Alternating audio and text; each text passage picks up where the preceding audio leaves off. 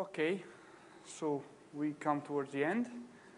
Uh, I apologize, yesterday I was perhaps a little bit too quick on some subjects, and the reason why I was a bit too quick is perhaps that these are the furthest away from uh, uh, the, the direct interest of uh, most people in the audience. But I hope you got the, the main point, namely that um, there are different strategies to look for uh, uh, dark matter, in particular for a wide class of uh, dark matter candidates, what I called WIMPs, weakly interacting massive particles, uh, you may have uh, at least three big classes of uh, search criteria. You can try to produce them at colliders associated with something else. Uh, you can try to look for the recoils uh, of nuclei hit by these particles in underground detectors, or the topic I'm going to treat today indirectly. And for the few words I wanted to say about direct detection. Uh, the, the challenge of these experiments, I, I, try to convince you, is not that much in the theory involved in the, in the calculation of the signals that you have once you have a, a putative signal, a putative candidate. Uh, the problem is, right, is to try to infer the, the size, for instance, of the, the ball that is hitting your uh, billiard ball just by looking at the recoil of this, part, uh, of this ball here and without knowing the velocity or the incoming direction of the other one, uh, and fighting uh, against radioactive background, fighting against maybe poorly known um, foregrounds that you, you thought should not be there, but they are there, sometimes discovering radioactive species, right, in your stable uh, target.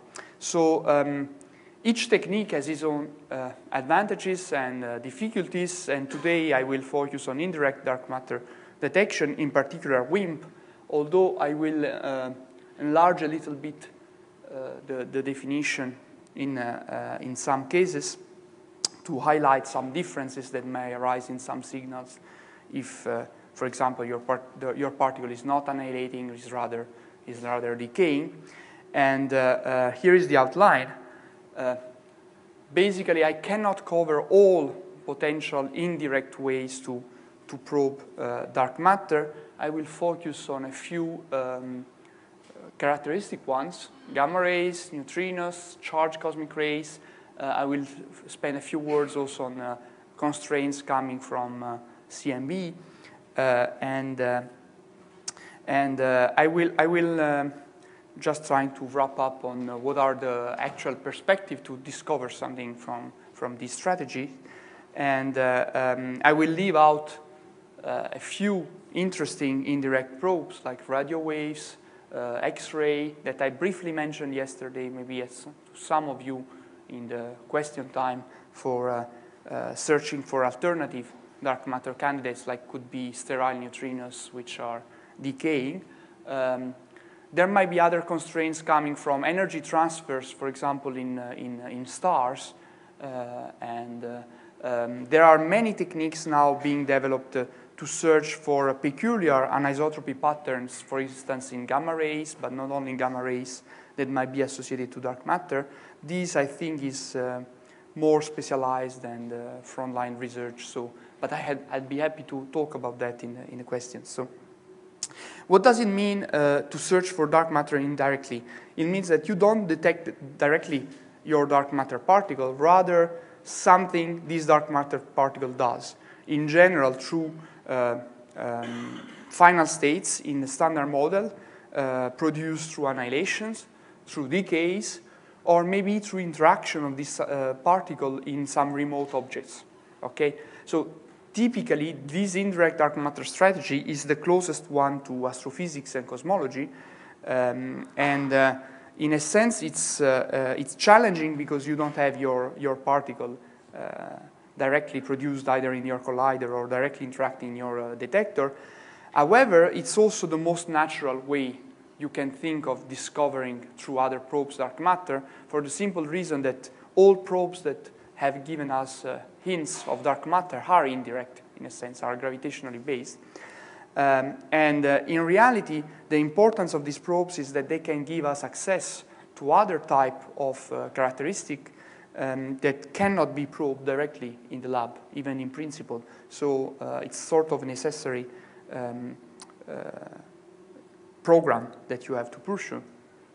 Now, as I try to insist you, insist on you on, on the previous two, two, two, two lecture, there is no guarantee that there, that there will be any indirect signature associated to, uh, to dark matter. Uh, most dark matter models predict some sort of associated signal either in collider uh, or in direct detection or in indirect detection. Um, but there are also models that predict none of them. Uh, so uh, be ready to take the risk. Um, and again, uh, I'll focus on the mostly on WIMP and this uh, electroweak scale paradigm, but you may have plenty of uh, uh real signals, not only at GeV-TeV scale, uh, but you may have really down to, to, to very low energies. And uh, I, won't, I won't insist further on this, on this caveat. So in our simplified diagram that I drew already yesterday, what the indirect detection means that means that we are trying to look to this direction for WIMPs, namely residual annihilation of particles that are um, gravitating, for example, in, in potential wells could be the, the inner part of our galaxy or the whole halo of our galaxy or external galaxies uh, or dwarf uh, satellites of our galaxy into final states which are standard model. Okay? Um, of course, uh, one appealing feature of this uh, uh, paradigm for searching for WIMPs is that in principle, uh, as I described, this kind of process is the same kind of process that happened in the early years that determines somehow the, the, setting of the abundance that dark matter has. And so you remember this computation of the y parameter that has to match then the, the, the Planck determined uh, a value for omega Uh, dark matter. So in general, one of the hopes is that once you measure some signal, you will be able to infer something on the, on the, on the value of this sigma v and, of course, of the mass in such a way that you can try to check if what you are seeing is consistent with a, an object that formed in the early universe by the mechanism we were discussing yesterday. Okay? There is some caveat because uh, this link is only present if sigma v is uh, very weakly dependent on the energy of your particle, uh, more technically, for instance, when, when the annihilation goes through S wave. Um, and uh, there, you are far away from resonances, and uh, there is not big role of co-annihilations, and so on and so forth. But in general, if this is not the case, but you are very confident in a specific model, you can still correct. You can still predict somehow the link between the early universe and present-day annihilation. Uh, and of course, the signatures do depend on different channels. So it's not uh, equivalent to search for any candidate in gamma rays or neutrinos or, or uh, charged particles. To some extent, you expect that the normalization should not be widely different between different channels.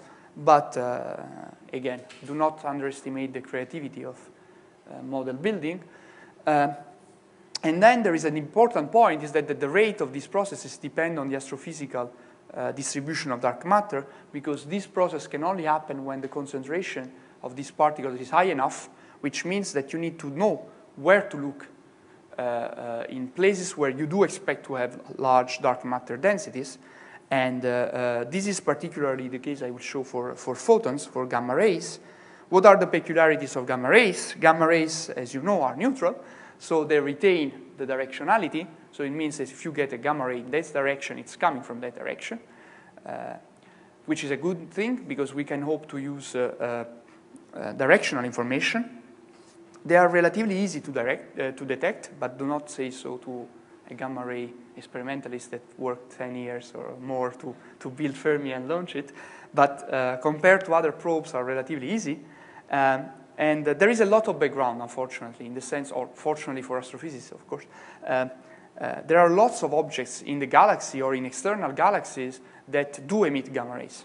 Okay, so it's not a, a, a clean search.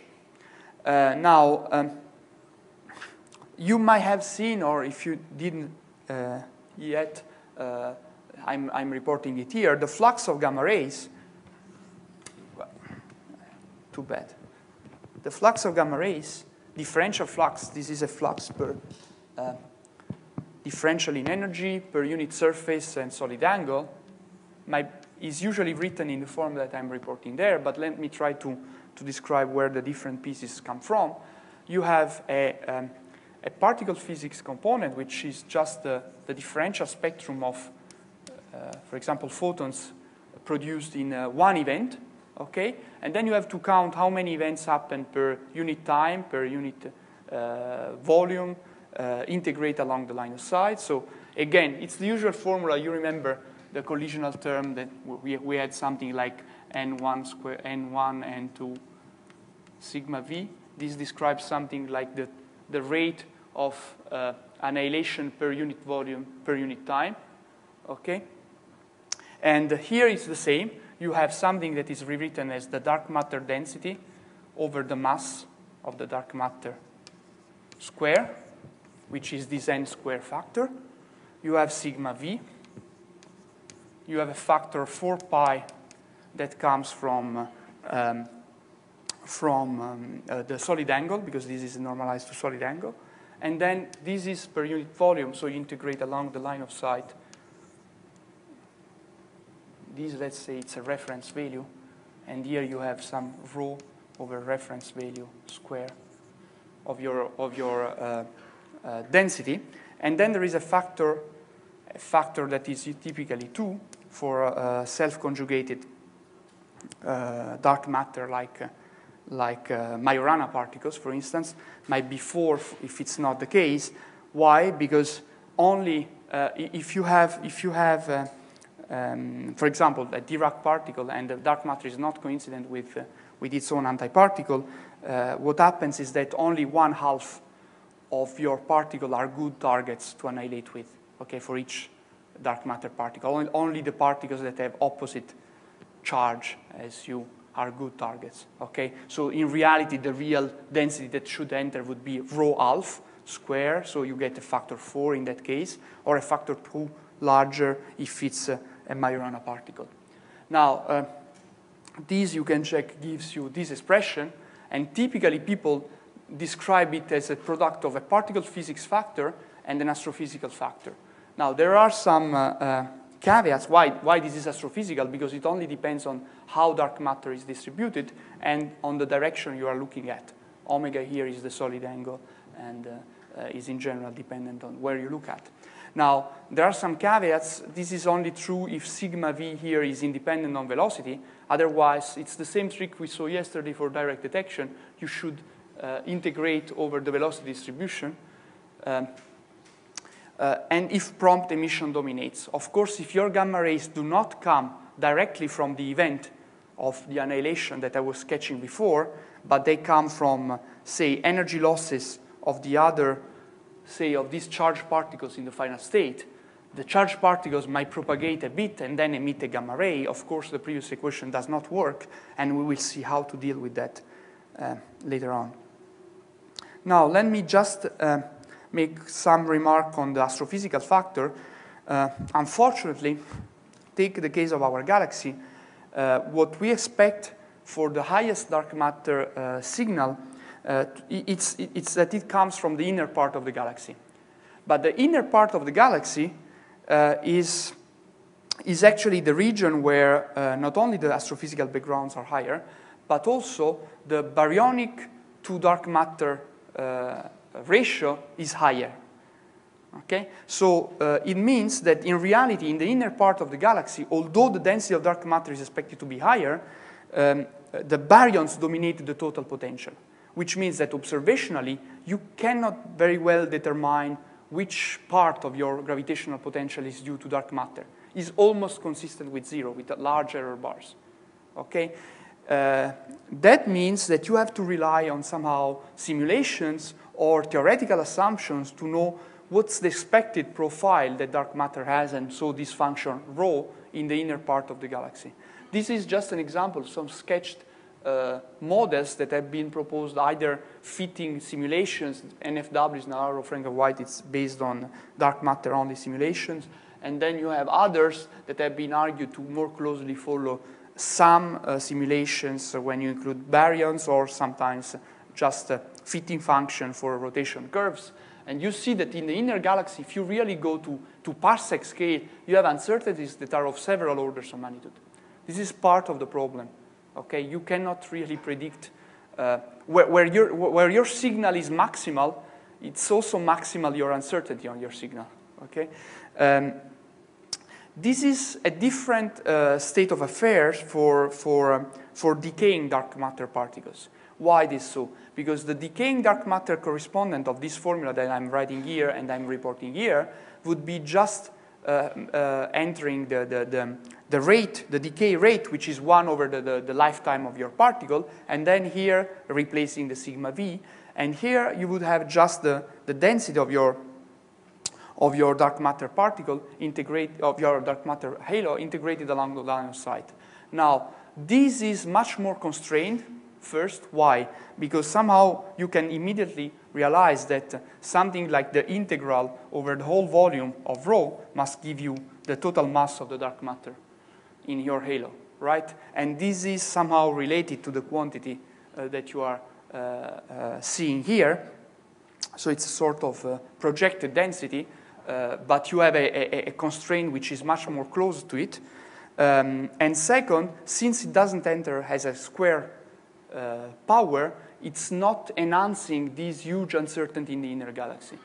So uh, depending on the type of dark matter candidate that you are looking at, the indirect signal might be more or less uncertain. Okay, this is another example of the interplay of uh, you know, the particle physics part with the astrophysical part that is of interest. So where to look for, again, I told you you have to look at simulations to, to, to have an idea. This is just one example, not even one of the updated ones. But it's a, a sky map in galactic coordinates of a typical uh, dark matter annihilation sky. Uh, you recognize some, uh, some, uh, some features. This is a, a made-up uh, intensity. So you should think as the normalization of this plot to be almost arbitrary. Uh, but you see clearly something at the galactic center which is prominent, okay? You see some important shadow uh, in a big region in the inner halo. Then you see some uh, spots here and there. These spots are either due to uh, substructures in our galaxy, like satellites of our galaxies, dwarf galaxies, and so on or to external objects like clusters of galaxies far away. And then you don't see it, but uh, the, the minimum of this map is not at zero, but you have a sort of diffuse glow that comes from uh, um, the outskirts of the halo in which we are immersed and the extragalactic sky. So each one of these is a potential target for the search of dark matter through, through gamma rays uh, in the case. And each one of these has specific uh, features so let me describe uh, no, uh, soon a few of these type of uh, searches and the specificities that they have. Um, before that, um, let me spend a few words on the other piece entering the, the previous equation, namely the particle physics factor, this, this spectrum here, okay? Now, uh, how reliably you can predict this spectrum? It turns out that uh, for astrophysical standards, once you have a model, you can predict this astrophysical spectrum quite well.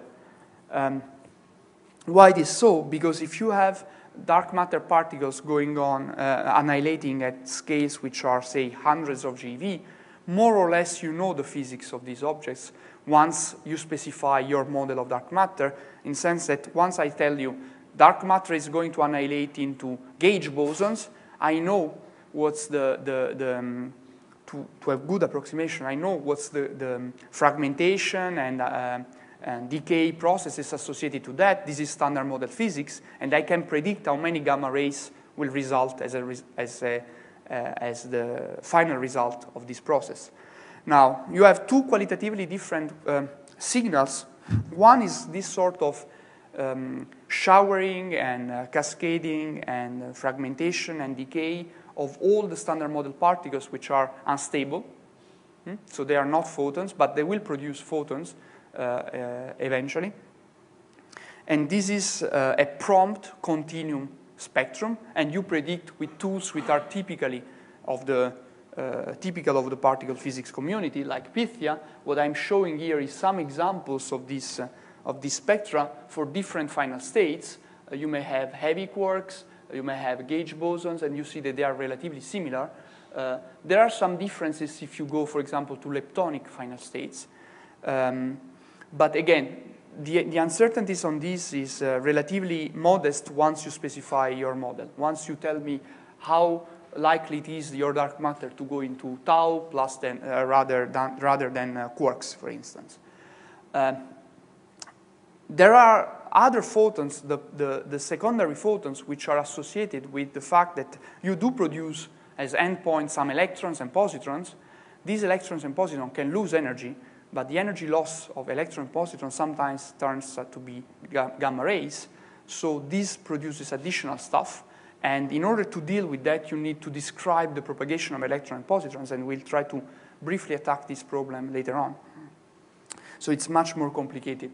Uh, but there is a qualitatively different type of photons that you might expect, and these are uh, lines. So you may have a dark matter diagram of the sort, again, I'm only using this Feynman diagram as, uh, as I would say, toy uh, pictures. But in principle, you may think of having something like that. This is your dark matter particle. And these are photons. Or you may have something different, like uh, these dark matter particles. You may have, uh, for, for instance, one photon and uh, something else, which might be a, a Z boson, might be also a Higgs boson, etc., etc.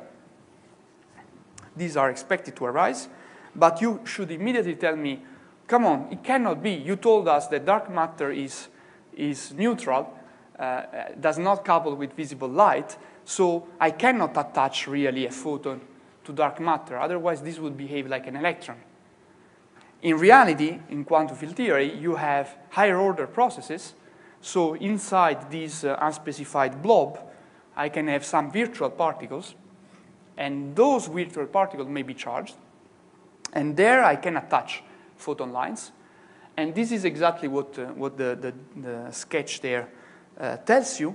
But there is a price to pay. What's the price to pay? That I have to attach more lines, which means that here I have extra vertices, extra couplings of these particles, the, the, the ones circulating in my, in my unspecified loop.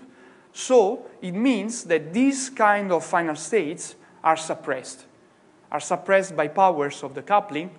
In particular, you expect a suppression which is of the order alpha square parametrically with respect to the main diagrams uh, of annihilation of, of uh, dark matter, which means that you have to fight a, a, a suppression factor which is of the order of 10,000. So you should see 10,000 more photons coming from the processes, uh, the continuum that I showed you before, than from this one. Now, the good news of this process is that since its energy is equal to the mass of my particle, or related to the mass of my particle by simple algebra, these are very sharp features. These are very robust features. If I was sure that I had seen a line, a photon line of, say, 190 GeV, there is basically nothing in astrophysics that can mimic it. Okay? Unfortunately, before I see 10 photons of this sort, I should have seen like uh, uh, 100,000 photons of the other type, and most likely I would have convinced myself that that was a detection of dark matter. Of course, there are some clever theoretical ideas to try to overcome that, but this is, uh, again, another proof of no, no free lunch theorem in, in physics. Uh, yes?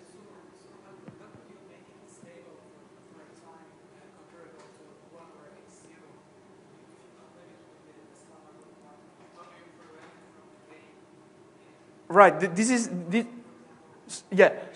So here I'm talking about annihilation, but uh, yesterday I, I, I, touched this point. The, the point is exactly that you need some, uh, some protective symmetry, because otherwise uh, any standard model that you add to your BSM uh, model, typically and any new particle that you add to uh, whatever scenario of standard model is unstable unless there are reasons that keep it stable.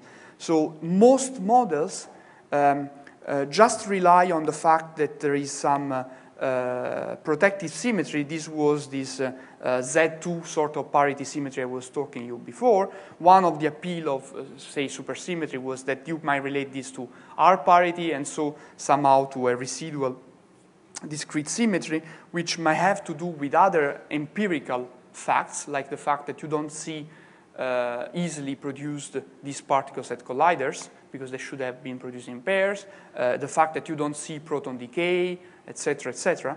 But in principle, it's not uh, necessarily case. You know, it might be it might be a different type of uh, symmetry. It might be a gauge symmetry. It may be uh, you just think of the standard model, right? You may have uh, different particles that are stable because of different reasons, right? Uh, the lightest neutrino is just stable because of Lorentz symmetry.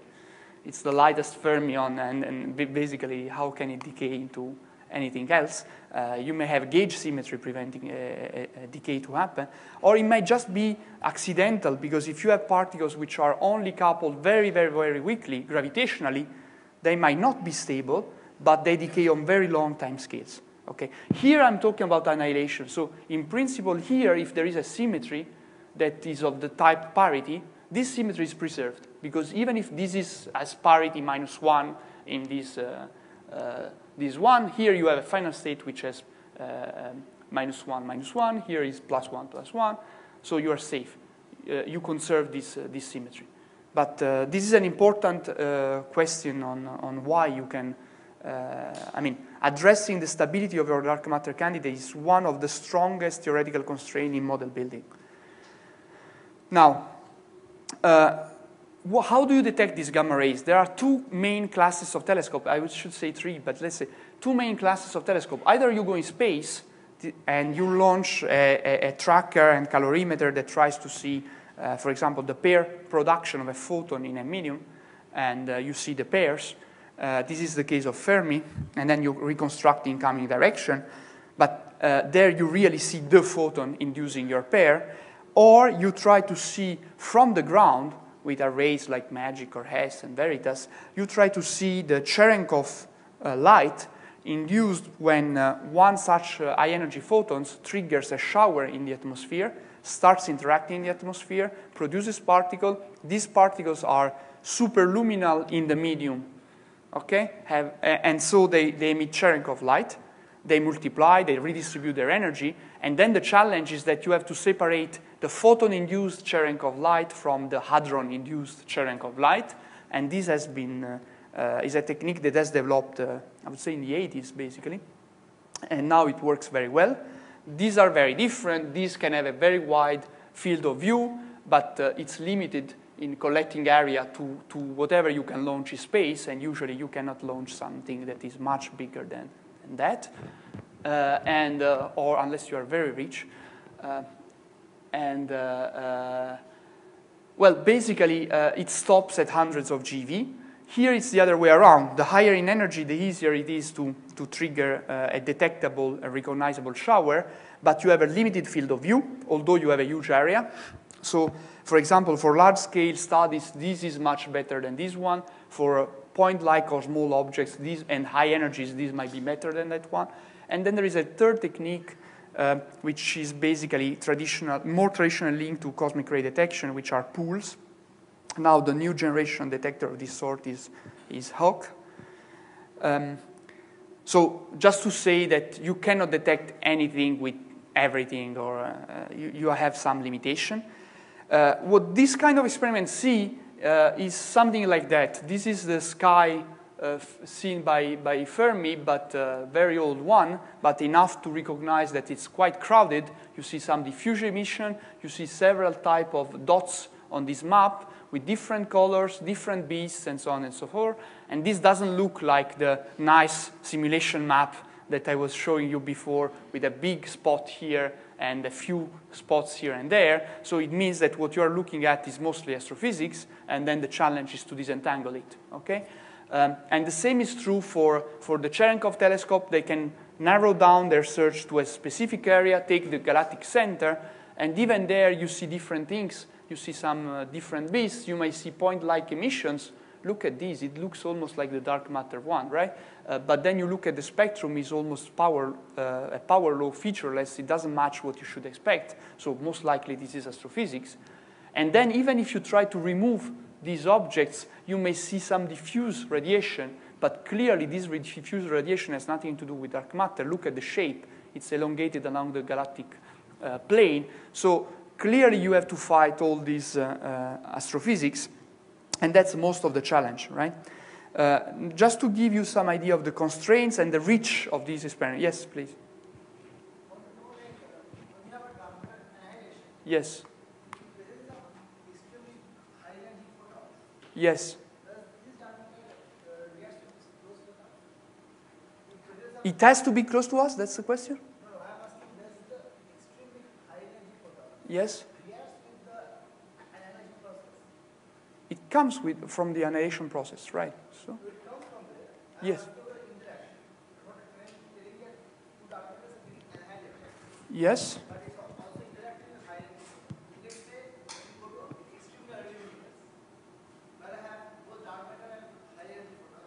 Yes? No. And the reason is exactly the same diagram I'm showing here. Well, they will interact if it's a WIMP like dark matter, but with a, such a suppressed rate that you can forget about it. Yes. Right, but uh, this, is a, uh, this is exactly the same kind of uh, uh, uh, trick that can happen. If I ask you, what's the probability for an electron in the intergalactic space to interact with a CMB photon, the answer is not very low, in fact. It has a high probability that over its propagation lifetime, it will hit a CMB photon. If I ask you, what's the probability that a CMB photon will interact with an electron, this is a very small number, okay? So don't, don't, so the point is that this is a very rare process. When it happens, you have gamma rays. It doesn't mean that since this happens from time to time, then every time you have a photon sitting in dark matter, it will interact.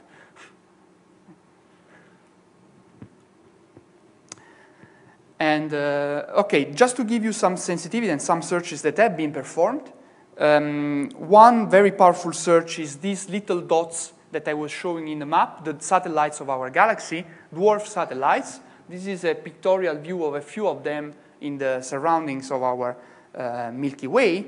And uh, uh, what typically Fermi has been doing, but also Cherenkov telescope have been doing, they search for in, around this, this, this direction for excess photons with respect to, say, diffuse astrophysical expectations. And in order to enhance their sensitivity, they stack them. They sum somehow all these patches and they see if there is a, a collective excess. And the result is negative, and so they can put bounds on the how, uh, what's the rate of annihilation of dark matter. This is one recent bound from, from Fermi. So everything that is about this blue curve uh, is, uh, is disfavored, if not excluded.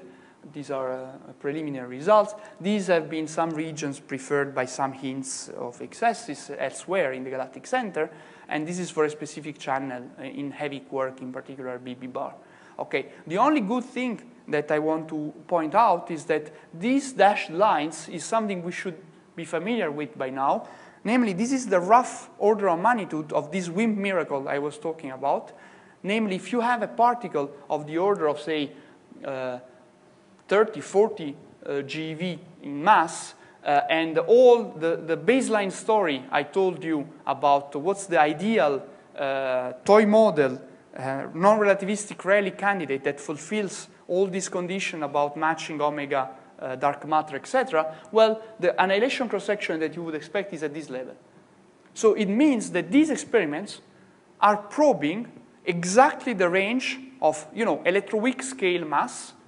These hundreds of GeV mass is exactly the same scale of the Higgs, say, okay, with the kind of cross-sections, the kind of couplings that are uh, suggested by this uh, WIMP miracle argument. So although there is no firm uh, detection, the good news is that we are starting to test uh, the, the interesting parameter space. Okay? Uh, of course, the technique can be repeated for uh, um, Cherenkov te telescopes. Here, the sensitivity is much lower in terms of cross-section. However, they can extend to higher uh, masses. So maybe our picture of how dark matter formed is completely wrong. The mass of dark matter may be 5 TeV, 10 TeV, and the cross-section being higher. These are testing this kind of, uh, say, failure of our theoretical intuition. Till now, no detection. Uh, of course, it's not the only bright place I was showing you uh, before in this simulation map. Another bright place, if you remember, was this sort of extended halo around the galactic center. Okay? Now, uh, there have been studies, for example, in Fermi, for the radiation coming from bands which are sufficiently far away from the galactic plane. Why this so? Because here you see that there is a mess. It's plenty of astrophysical objects. So somehow you know that dark matter signal should peak here, but you say, okay, I don't know how to describe well my background. Here it looks like a better place to look at. Uh, it's a compromised choice. Uh, they did it, and in fact, they derive constraints in the same plane, cross-section mass, which is comparable. Maybe a little bit worse, maybe a little bit better according to the channel you look at. But why this is different? Because now this is depending on something completely different from what I showed you before. What I showed you before was the stacked uh, collection of these satellites of the Milky Way. You have to try to infer the mass of dark matter in each one of these from the rotation curves, for example, of the, of the uh, few stars that you may see there. So uh, it has different types of systematics and challenges. Here, this signal comes from the bulk of the Milky Way signal, including relatively local uh, um, part of the sky. Why? Because by, by just geometric effects, if I look at 10 degrees above uh, the galactic plane, I also cross relatively nearby region. So again, this confirms the picture that we have sensitivity to this kind of um, dark matter. And if you want to look for the galactic center, what did I tell you about small patches of the sky, very narrow? Maybe, in fact, uh, um, Cherenkov telescopes, these ground-based telescopes are way more sensitive. They have a higher collecting area. In fact, the HESS telescope, for, for instance, did that. And they got this kind of exclusion bounds. Uh, these are the strongest exclusion bounds in that energy range. Uh, but you, you see what they had to do. They had to search their dark matter signal from this green area they had to remove this yellow area. They had to compare this green area region with a similar shaped region elsewhere. Why they did all that? Because it's a mess. They have signals everywhere, so they have to pre-select a region where you expect your signal to be sufficiently strong. So they have to remove, you know, objects that are known to exist in and emit there. They have to remove this region, which is plenty of astrophysical photons, and then, in order not to fool themselves, they compare the photons that are expected to come from here with photons coming from this funny shaped region. Why? Because there the dark matter signal is maybe a factor of a few smaller, but the astrophysical signal is expected to be comparable, the unaccounted for astrophysical signal, and so they, kind, uh, they try to, to, to get bounds. Now, these are quite strong, not as strong as to probe the, the paradigm I was talking about yesterday, and these rely on some strong assumption on extrapolation of the profile in this narrow area, but that's the best we can do for uh, this, uh, this kind of situation. Okay, so in order to make further progress, uh, I, am saying order of magnitude progress, probably you need next generation instruments here. Of course, you can look at something completely different. Uh, the, the residual glow that was happening to be everywhere, this blue sky background that was in the, in, uh, uh, in the map I was showing you. And how do you compute it? Of course, look at this, at this formula, right? If you were to compute now everything that has been emitted from the extragalactic sky, all external galaxies and halos, etc., etc., this integral has to change. Why? It has to change because now I have to account for the cosmological uh, effect. So my line of sight integral will become an integral over redshift, and I have to account for that. There is another effect. Uh, over cosmological distances, there is some finite opacity for gamma rays. So I have to account for some exponential suppression, which might be possible. And then, of course, the dark matter entering the formula, my reference value for dark matter is not anymore the galactic one, the one that I have to infer with some uncertainty, either from measurements or from uh, simulation, but it's the cosmological one. And so the, the formula that you get looks like that. Hmm? It's exactly the same structure of the formula I, I showed you before, but here now you have the dark matter density square, the cosmological value. Here you have a, spectrum which has been emitted at some redshift z, so you have to integrate over it. Here you have the absorption factor. These factors come from uh, the square of dark matter density that scales as 1 plus z uh, to the sixth, and then the, the line element that gives you the suppression, times the Hubble function depending on z. So it's just a generalization of what I wrote. But the funny thing here is that uh, uh, just like here you had this enhancement due to the, the quadratic dependence of your signal from the dark matter density, here you will depend on, the, on this flux multiplier, which is nothing but the, the, the, the square of the density contrast of dark matter, which is nothing but the power spectrum okay, of the dark matter. And this is the way you can compute it. Unfortunately, uh, this, dark, this power spectrum is not computed on the scales where it's linear and so nicely described by our, our cosmological model. You see, this is the, the power spectrum basically uh, uh, at, in the limit of r going to zero, namely at very short distances, which is deeply nonlinear. Okay, so, so you have to integrate your power spectrum over wave number up to the end of the spectrum. And you don't know where the end is, by the way. So you don't know how it looks like in the deeply nonlinear regime, and you don't know where the end is. So you have to devise some uh, tools or guesswork or whatever to try to uh, extrapolate what you know of the power spectrum, including the slightly nonlinear regime, into the deeply nonlinear regime. So the bad point about this is that you have a band of uncertainty for the, for the integrand of this piece, which is quite large, and depends a bit on, uh, well, a bit, quite a bit, on uh, how you extrapolate, and also on the intrinsic properties of the dark matter.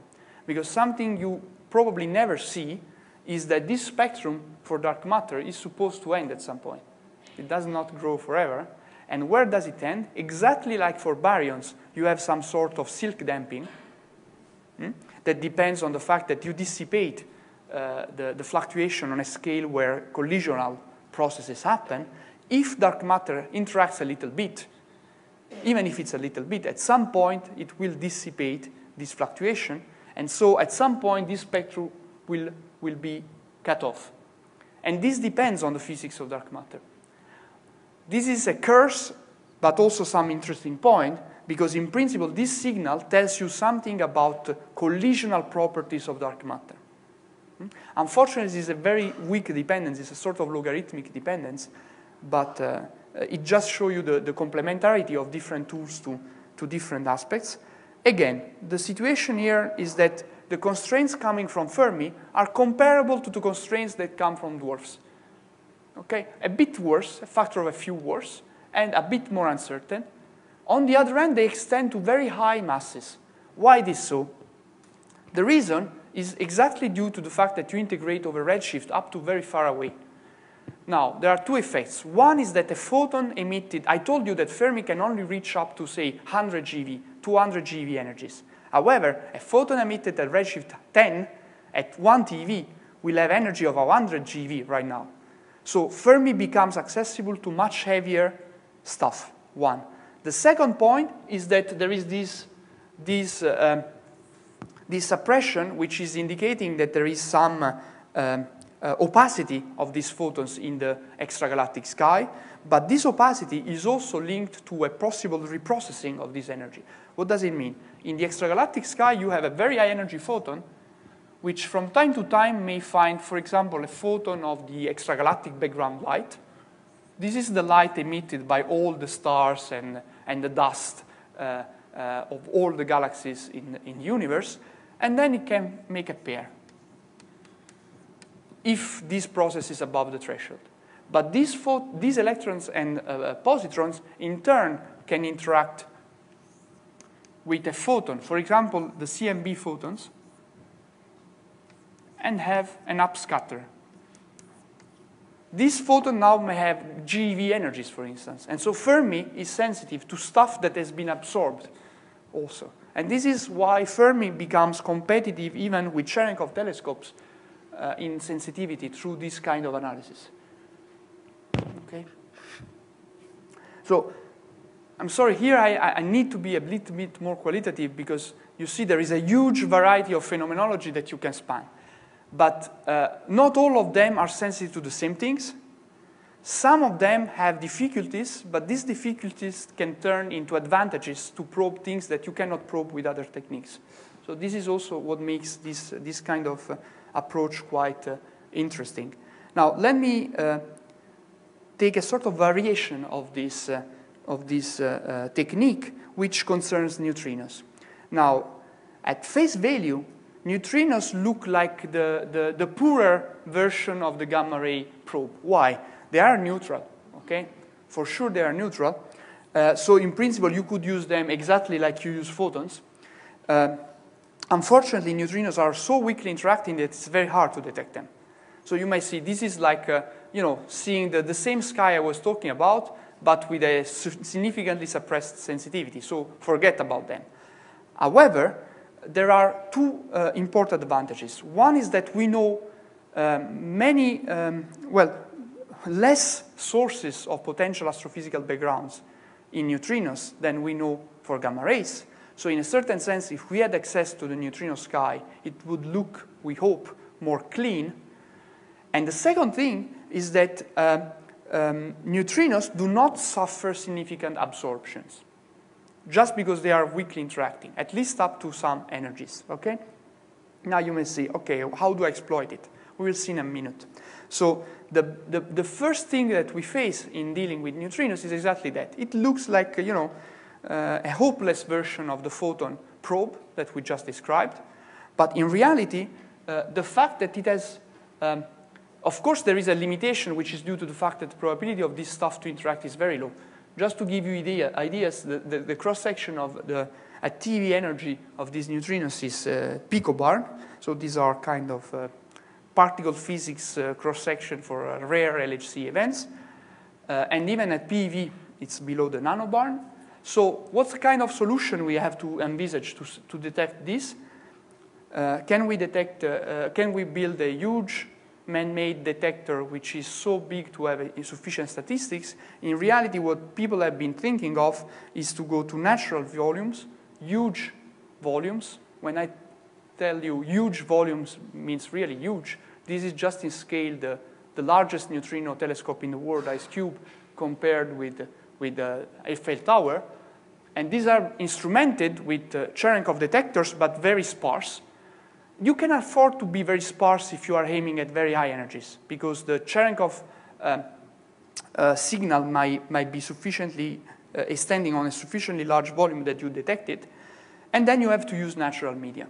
Okay? So just to, for a comparison, this is the largest man-made neutrino detector, Super Kamiokande, and, and, and the, the, the, the comparison uh, with the with current neutrino detectors is in, in, for astrophysical purpose is, is clear, right?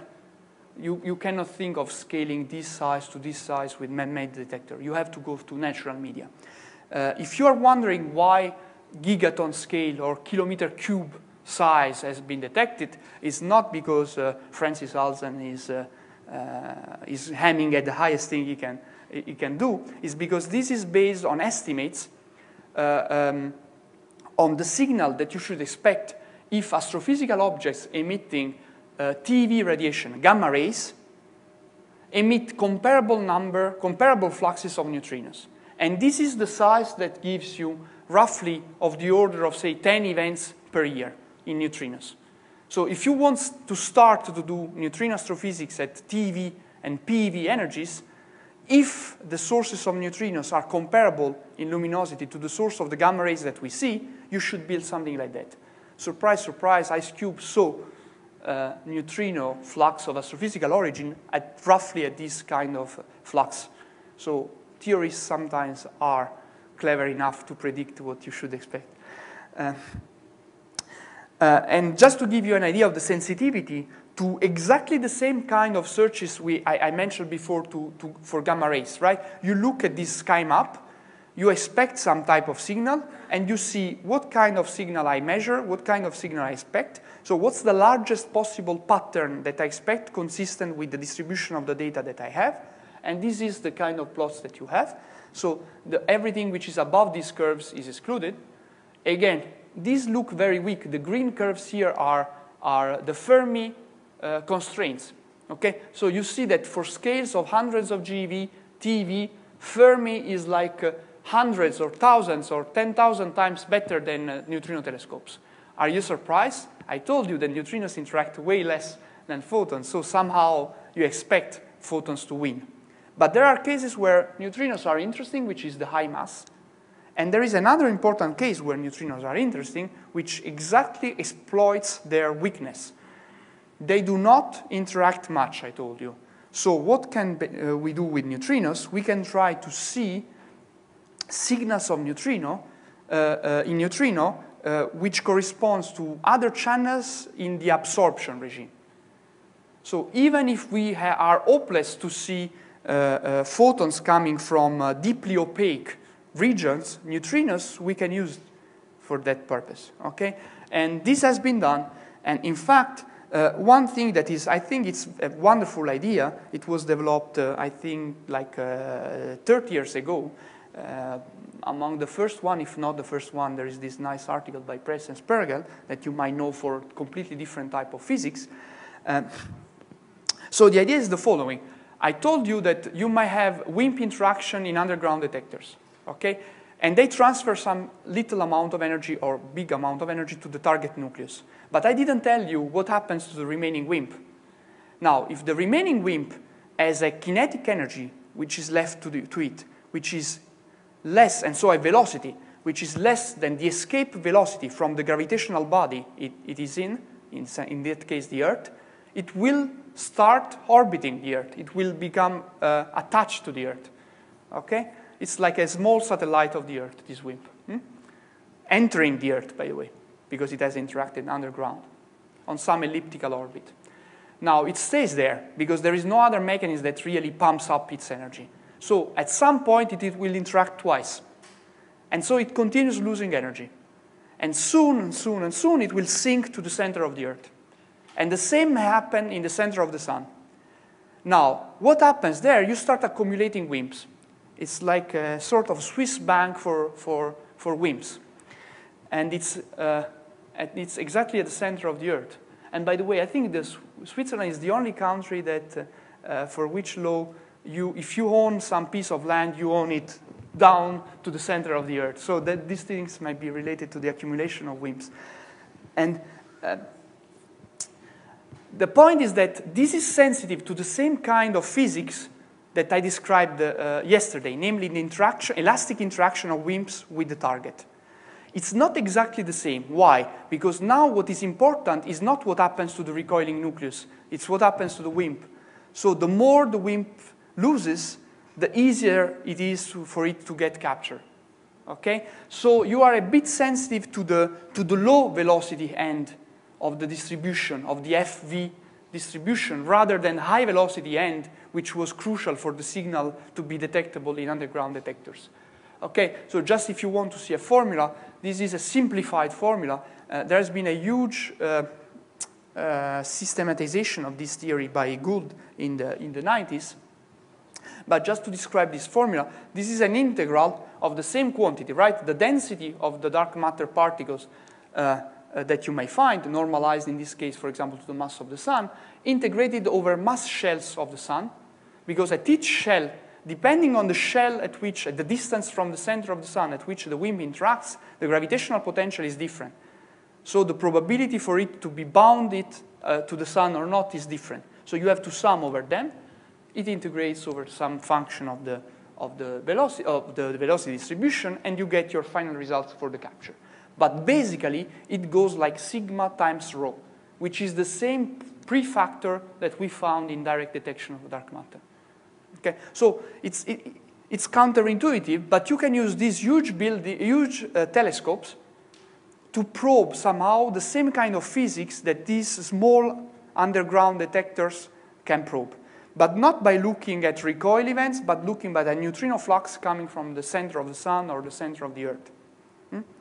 And uh, this is just a cartoon illustrating the same thing. Now, you may say, up to which level WIMP, uh, WIMP particles continue to annihilate? Well, it depends on the loss or the heating mechanism, right? Uh, in principle, the, the, the number density of your WIMP in the core of the sun, assuming it's homogeneous, blah, blah, blah, this, if there was only capture, is just given by the capture rate, which scales as the product of the density of the WIMPs times the sigma, the cross-section. Okay, it's proportional to this quantity. However, if you accumulate too many of them, the probability for them to annihilate will start rising. How does the probability for annihilating scales? It scales with something which is proportional to the square of the number of particles that is present there. So at some point, if these numbers are not ridiculously small compared to the, uh, you know, the, the, the, the lifetime of the universe, of the solar system, and so on, you will get a stationary situation where n dot is equal to 0. And so CA over C will give you, sorry, it's the other way around.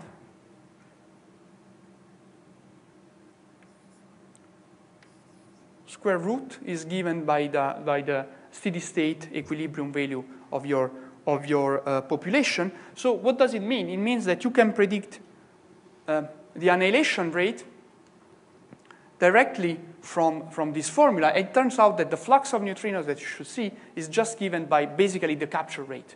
So the flux of neutrinos measure the scattering of WIMPs, not their annihilation hmm? at equilibrium. So you can put these constraints on the same level of the constraints of underground detectors, and these are the latest results from uh, the IceCube collaboration compared with other detectors like uh, Antares, Baksan, etc., etc. This is for spin-dependent cross-section. I told you that there are two main ways these particles are expected to interact, either with the spin of the nuclei or with the uh, collective nucleus in a coherent way. This is the constraints for spin-independent uh, cases. Now, again, forget about the details. The only thing that is important is that here, direct detection experiment, stuff that is put in caves underground, has a sensitivity to anything that is above these curves, these gray curves here. So it looks like neutrinos are very bad, okay, compared to this, which uh, should confirm our intuition that this is a loser's channel. However, in the spin-dependent case, it's the other way around. And why it's the other way around, it's easy to think about it, right? The sun is mostly made of protons, and protons do have an intrinsic spin. So somehow the sun is a big spin-dependent detector. Hmm? So the sun wins. The fact that there is lots of protons in the sun win compared to the fact that in a small detector underground you have only, you know, your outer nucleon uh, uh, outside the shell that can compete. So again, keep in mind the fact that different techniques, different probes, make us sensitive to different aspects of the kind of physics we are dealing with, which means that you should also know a lot of physics in different branches in order to have a more complete picture of what's going on. For now, it's relatively easy because we only have constraints. But the day you start having an excess here and none there, maybe this is telling you something about the specific nature of the dark matter. Now, one thing that is a bit closer to, uh, to cosmology is the, the, the, cosmic microwave background. Now, I told you that one of the strongest evidence for uh, the, the, the, fact that you need dark matter rather than a modification of gravity is the fact that the growth of structure uh, consistent with the pattern that we see in the CMB and the, what we see nowadays uh, uh, requires these, these additional species. But you can use the acoustic peaks of the CMB and uh, in general the, the, the, angular power spectrum of CMB in a completely different way. Why? Imagine that you have particles that now annihilate after the CMB, uh, after the, the, the, recombination time. Hmm? Among the byproducts of the annihilation, you may have things like electrons, positrons, either directly or through some other mediator, for example, W's or, or Z's or, or heavy quarks or uh, Higgses and so on and so forth, at the end, since these are all unstable, they will produce gamma rays, they will produce neutrinos, and they will produce also electron positrons. Now, this stuff uh, does something, right? This is energetic particles in a medium that has recently uh, recombined, so it's a neutral gas. One thing that it can do is to ionize it. But if the gas is ionized, hmm, then the optical depth for the photons is not the same. They are way more sensitive to, to a ionized gas. The, the probability for them to interact is much higher. So you might see some signal of dark matter annihilation through the optical depth, the tau parameter that has been introduced even uh, in the first day by David Weinberg. Now, again, I'm simplifying a bit. Uh, uh, uh, you should really take into account of all the correlations because you don't measure exactly tau. You measure some uh, angular power spectrum that depends on n different parameters. But the bulk of the argument is that if you have a knowledge of the tau uh, uh, the, the, the, photons have experienced, you know what's the basically the integrated version of the ionized matter that these photons have crossed. And so you have indirectly a, an upper limit to the amount of positrons and electrons that could have been injected after the, uh, the recombination time. And slightly more quantitatively, uh, how do you compute that? Again, the formula are, are all variations of the same stuff. Okay? Here you care about the energy deposited as a function of the time. You have the same kind of dynamics. You have rho square, you have the redshift effect, and then there is this parameter that is what CMB physicists prefer to constrain, okay? Uh, which is sigma v divided by 8 pi m square, again the same stuff that we saw again and again, times 4 pi, because now this is integrated over the full solid angle, times twice the mass of dark matter. Why? Because this is the energy released by annihilation of an event involving two particles of dark matter, times some function, some number, in principle, it's dimensionless, that tells you how much of this energy is useful to ionize stuff. Okay? And the whole physics is in this function. Now, how much this function, uh, uh, the larger this function is, you would expect that this cannot exceed 1, okay? In reality, since it's a function of time, it can exceed 1. But, uh, uh, for example, Tracy Slatyer has done uh, detailed calculations of this function according to the final state your dark matter annihilates into. Not surprisingly here, you see that if dark matter annihilates into electrons and positrons, this fraction is almost comparable to 1. Why? Because it's all available for this stuff to ionize and uh, the medium. Not all of it because some of it goes into heating, for example, of the medium, and it's not useful to ionize uh, photons. So you have to take into account that. Uh, other type of particles are less efficient, but again, you have roughly between 0.1 and 1. This, this function is relatively well known. Roughly at the 10% level, you can compute this function. And uh, practically what it does, the dark matter to the, to the um, uh, electron fraction in the universe as a function of redshift is to change the standard curve, which is the, the, the black curve that you see here. Here there is no uh, reionization due to, to stars. Uh, it changes it into this, these different levels of plateau. Okay? And the tau function is roughly, uh, is essentially proportional to the integral of this. Hmm? In a surprising way, but by now you should be used to it.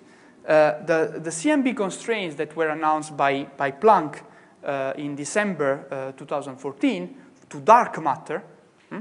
electromagnetic interaction of dark matter, not gravitational, or, or, or uh, uh, I would say gauge interaction of dark matter, not gravitational ones, well, it's at the level of the thermal relic. Once again, for particles of the order of tens of, solar, uh, of GeV, of proton masses and uh, I won't describe the other points on this curve. So once again, you may have very different ways to probe this kind of paradigm. This is quite indirect, okay? So it's very hard that if you see some excess, uh, you can interpret it as a term in terms of dark matter. But in order to put constraints, it's very robust. Here, all structures are linear. There is no uncertainty due to the clumpiness, blah, blah, blah. Uh, uh, the particle physics is relatively simple. Why? Because the, the physics involves the energy losses of electrons and positrons, of energies down to the keV and so on. It's stuff you can study in the lab, basically. Okay? So um, this is very robust.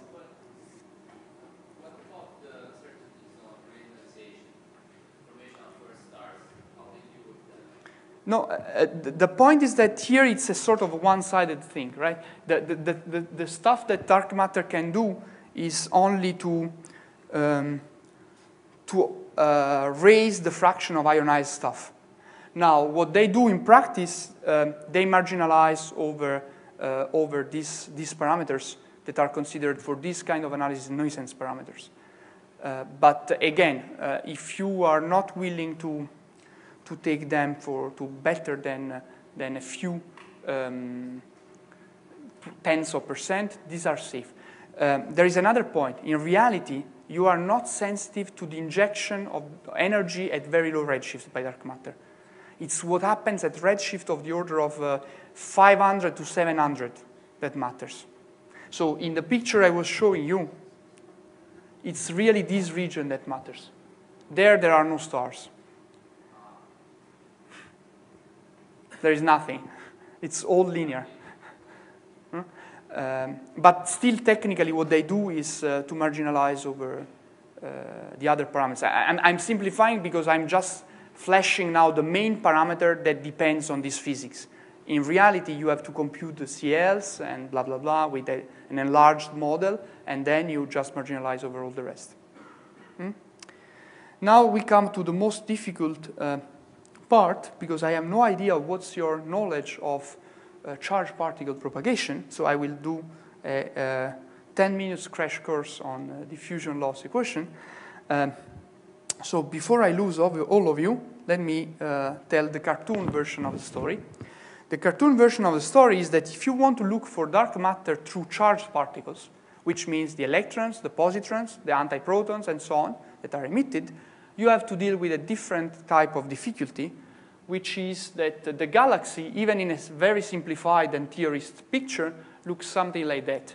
It looks like a, a, a, a thin disk of gas and stars immersed into a thicker magnetized halo, uh, which very low uh, densities, but with significant uh, uh magnetic field, which may be regular or turbulent and so on, uh, populated by winds that are uh, triggered by, for example, star formation activity.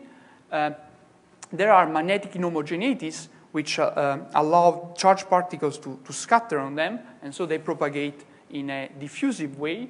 Uh, there is convection, there might be reacceleration, there are plenty of plasma physics effects. So the, the one uh, formula version of this uh, mess is that the flux now of, say, antiparticles is not any, is always the product of some particle physics factor times something which is not only a, a, a, a function of the astrophysics, but it's a functional of my astrophysical distribution of dark matter and also of all these astrophysics going there. Now, how do you deal with that? Uh, the theory uh, for this kind of processes, so you have to describe this uh, this mess. The theory has been established long time ago, Syrovatskii, and in the, in the 60s, basically, we knew that.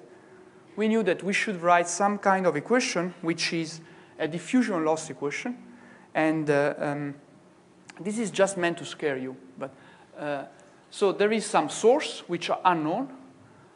Uh, there is some diffusion term, just spatial diffusion.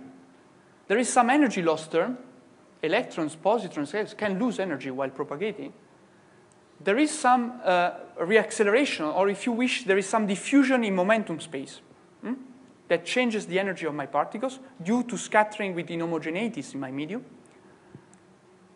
So if you wish, these are small-scale electric fields, transient electric fields my particles can uh, find. There might be a convective velocity. In general, there is there are adiabatic flow term, there is large-scale movement of the gas.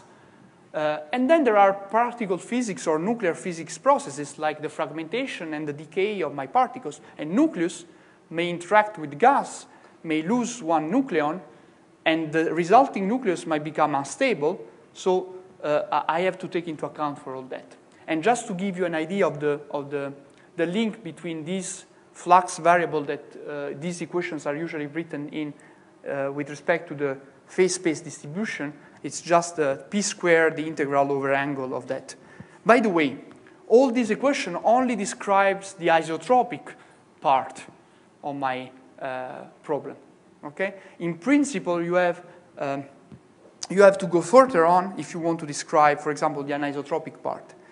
Uh, and uh, one qualitative feature that you might expect is that in a diffusive propagation, the flux, whatever the injection is, tends to be isotropized. Okay? You might have experienced this every time you open, for example, a bottle of perfume in a room.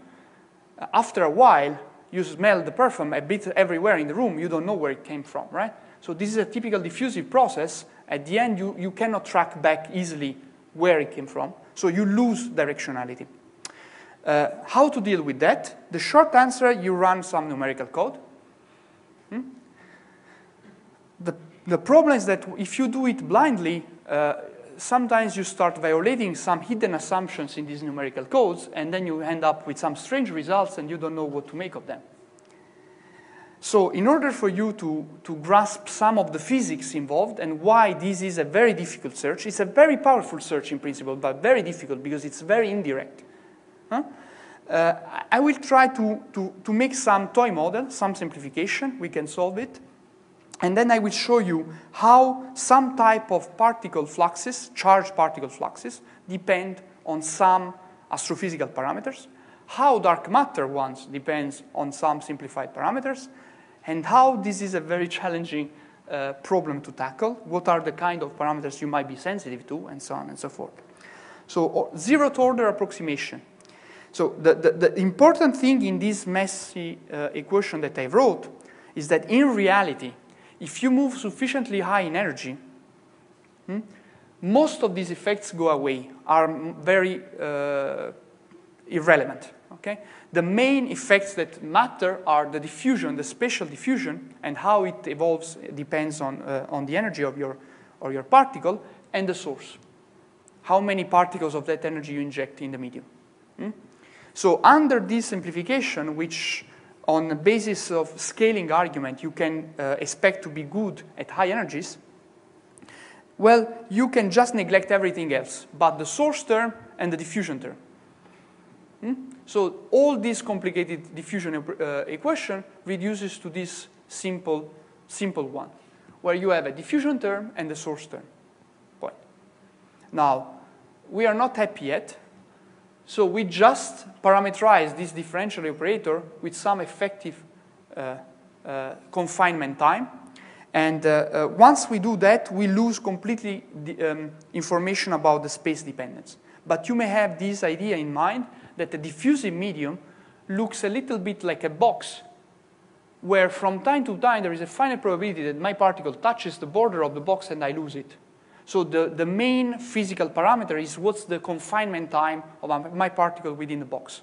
Of course, once I do this step, I'm assuming that it's completely homogeneous within this, this sphere. Hmm? Now, this is the, like uh, out of the blue. I will show you that, in fact, you solve the diffusion equation and you get this behavior. Hmm? But uh, trust me for a second, at the end of the day, you can estimate what's the resulting flux, say, of protons or carbon nuclei or whatever else at the Earth, just if you knew the, um, the injected one, the source one, which, by the way, we don't know. We have guessed about that, but we don't know, times some effective confinement time, some diffusion time, that we have to estimate now. Okay, how do we estimate these, these parameters? One way to estimate, which is very, very popular in cosmic ray physics, is to use what is called secondary to primary diagnostics. Now, what does it mean? It's a complicated way to say that if you look at empirically what you measure in these high energy fluxes is that uh, the abundances, the relative abundances of stuff like, uh, uh, say, uh, carbon or iron, etc., the relative ones are very similar to the relative abundances of carbon and iron, etc., that you find, say, in the solar system. So somehow these cosmic rays seem to originate from a medium which is more or less similar in chemical composition to the solar system. But there are some exceptions.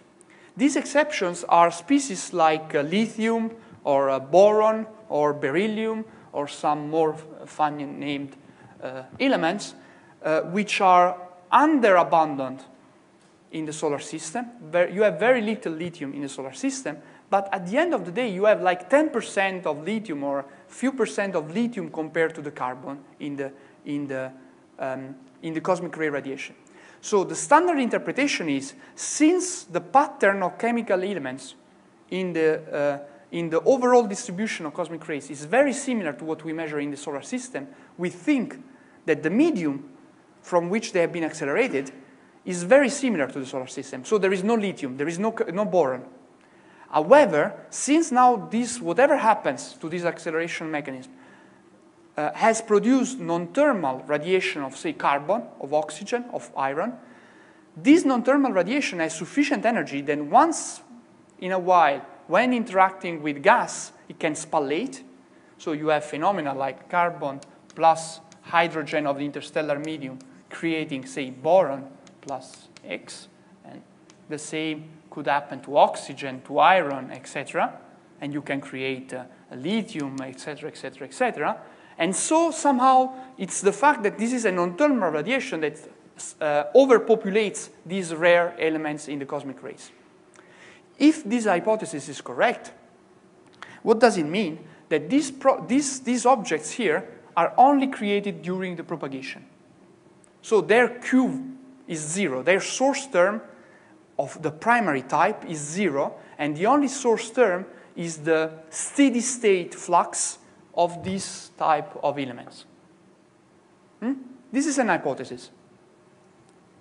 It looks reasonable, by the way, but uh, uh, let's test it. If it is true, what happens is that for primary species, let's say carbon, just to be specific, you have some unknown carbon source times some unknown effective time parameter that depends in general on the energy. And this is the steady state carbon flux that you see at the Earth. Now you see also some boron flux, just to be specific. What is the boron flux? The boron flux is not proportional to Q boron, because there is no Q boron. It's zero at the source term. But there is some uh, boron coming from the fragmentation of this carbon in interstellar medium. So it will be proportional, by known uh, coefficient, by the way, to what? To, to the flux of the carbon times the same effective time. Because we are assuming that they diffuse the same way. These are charged particles. Once they have the same rigidity, they diffuse the same way. It's just an electromagnetic phenomenon. But flux of carbon goes as Q of, of carbon times the effective time. So you get the factor square. Times, of course, there is here some cross-section, right, for the probability for carbon to produce boron in a given medium of a given density, the NH, the density of the gas of interstellar medium.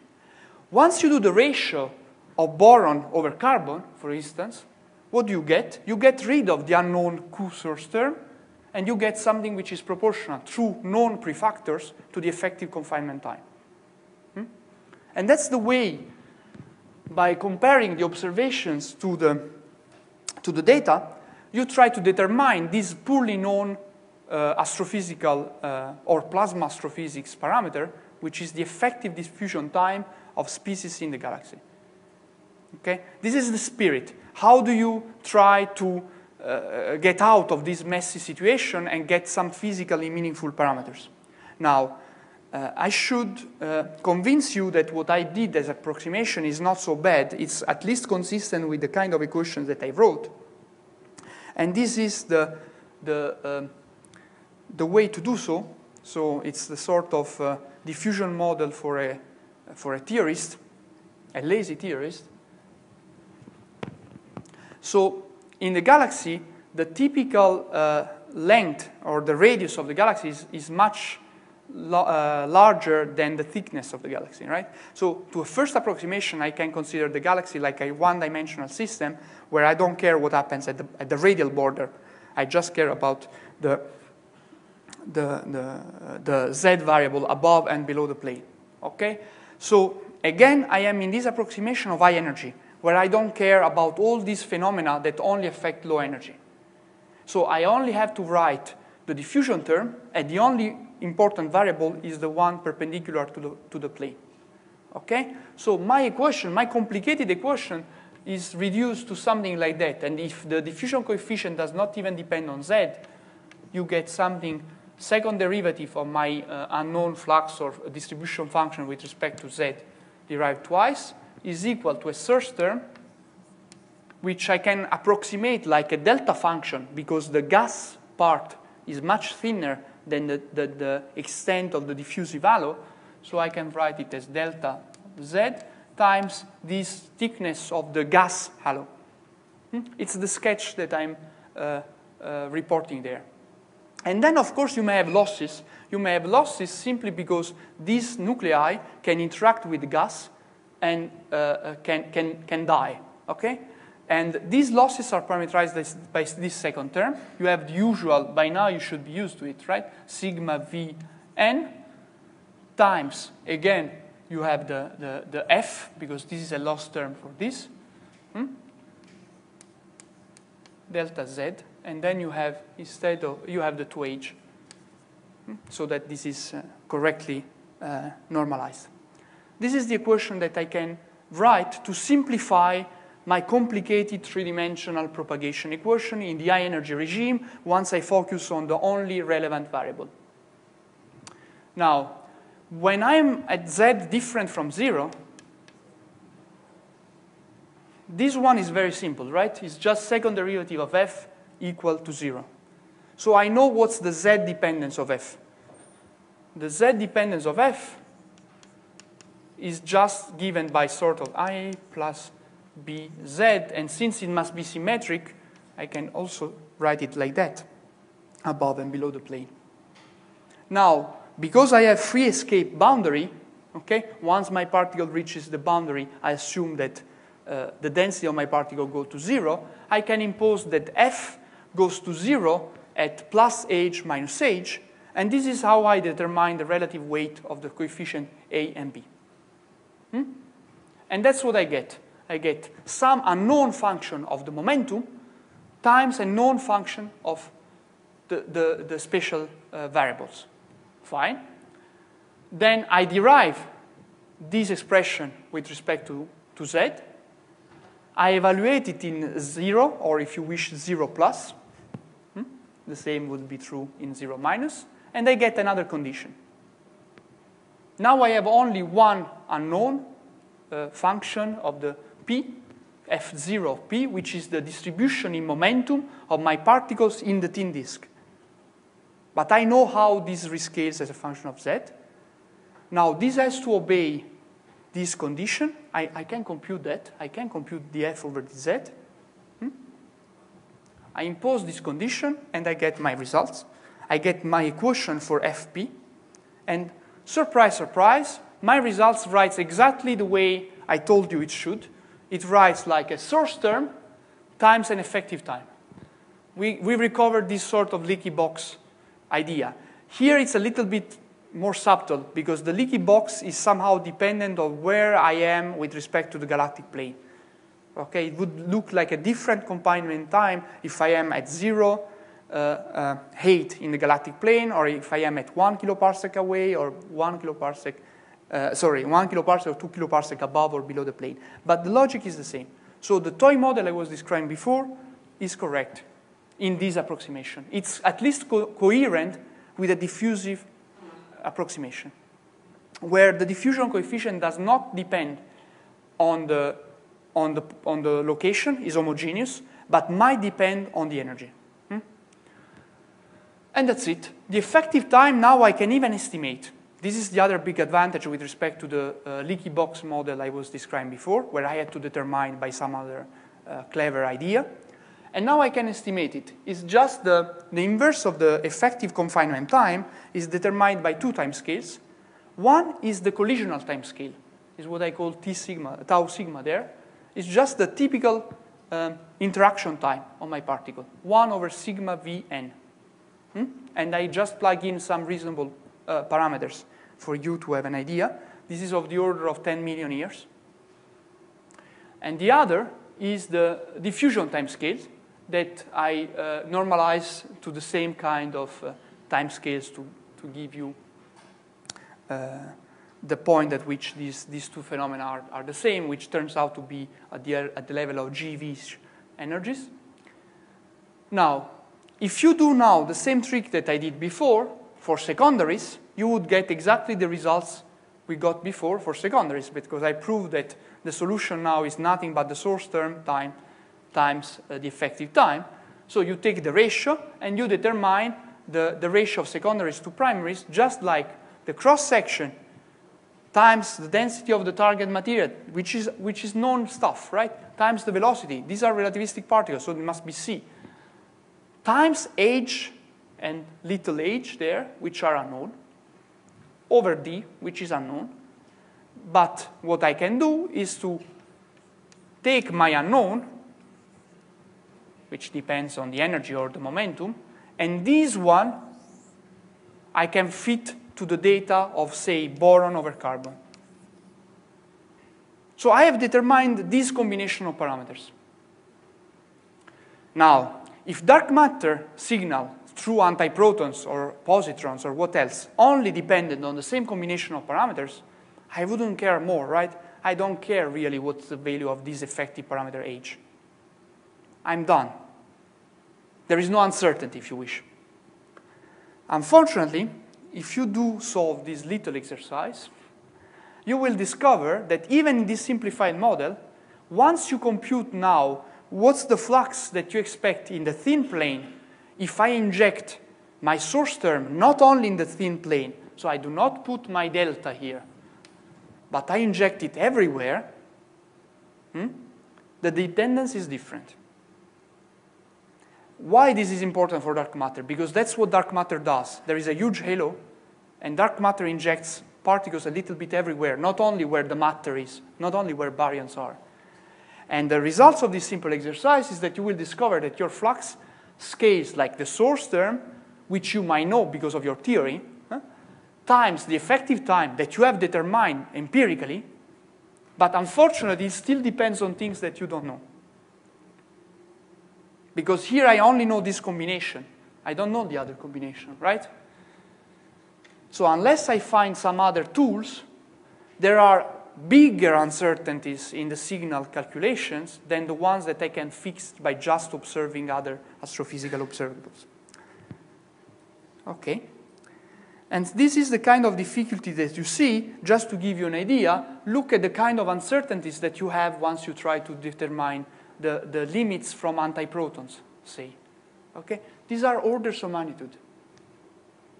And the reasons why they are orders of magnitude is that we do not know all the details of the astrophysics of this diffusive medium. And if you may wonder why we don't have, after hundreds of years of progress in astronomy, the reason is that this is one of the rare cases where you want to do astronomy without directionality. And if you want to know where something comes from without knowing that it keeps its direction, you are screwed. You are completely blind. So the, the bottom line is directionality is the basis of quantitative astronomy since an, uh, ancient times. So that's the only thing I wanted to say. Uh, and qualitatively, if you now go to positrons and electrons, like many people have been working on, it's much worse than that. Why? Because electrons and positrons also lose energy through inverse Compton and through synchrotron, onto interstellar light and onto um, um, uh, magnetic fields. Okay? And unfortunately, unfortunately, the time scales for this to happen are shorter than these 10 million years at energies above uh, a few GeV. So it means that basically you are only sensitive to local stuff.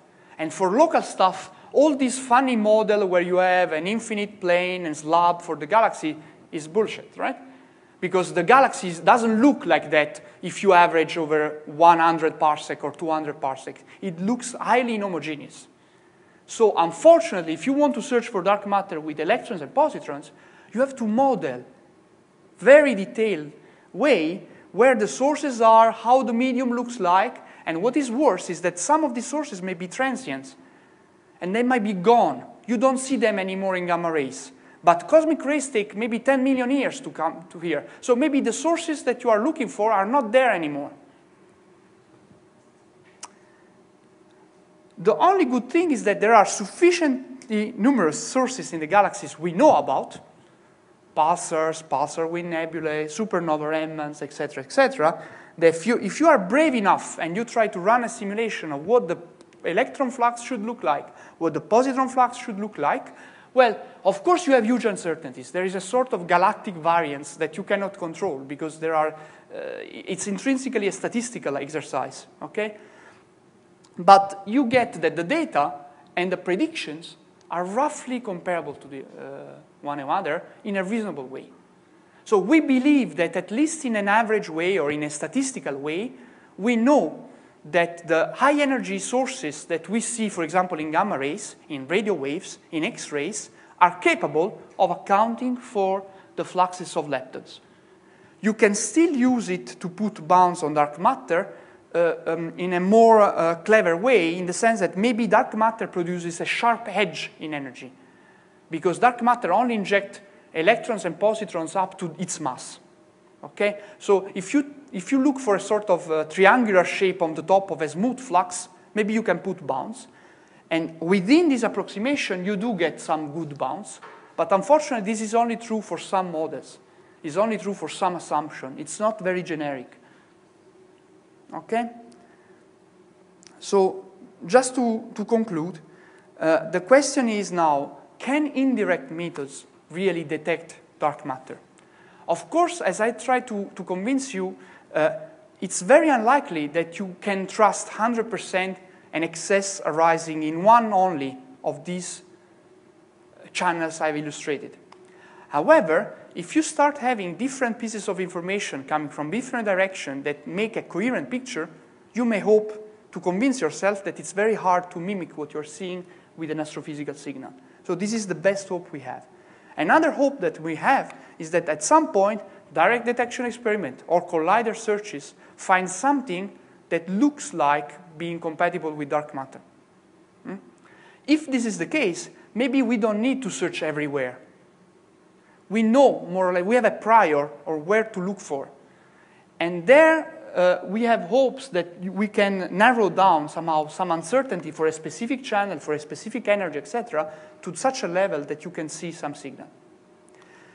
Anyway, even if you are not very um, happy about the, these difficulties and these astrophysical uncertainties, you need some indirect detection uh, tool. Why? Imagine that you find in a collider something that looks like missing energy. It looks like it might be some massive particle that does not interact. It does not interact on which time scales? Very short time scales. It escapes your detector, it's lost. How do you know if it's stable on cosmological times? How do you know that this is dark matter? Next time you hear LHC is looking for dark matter, it cannot look for dark matter. It can look for something that is consistent with being dark matter if whatever it finds matches other indirect or direct signals. So you still need to go back to this kind of blackboard and, and derive some signals in direct or indirect detection. Otherwise, you will never know that you have discovered dark matter in the lab. Hmm? And uh, that's, that's my summary, basically. I think that there are reasons to be optimistic in the sense that we went a long way since the 80s, where at the, at, we, we didn't even know if dark matter was baryonic, was non-baryonic. Maybe ordinary neutrinos could have been hold of the dark matter. Now we know that we should look for something a bit more exotic. I try to illustrate that there is plenty of possibility for this exoticity. And uh, according to the possibility, that, uh, that you impose, first you have always to fulfill some empirical criteria. Should not be too collisional, should not be blah, blah, blah, blah, blah, blah. Second, according to the context in which you develop your scenario for searching for dark matter, you have some possible signature. Could be direct detection, could be colliders, could be indirect detection. And then you hope to find uh, converging proofs of uh, something. Now, the good news is that you have many strategies.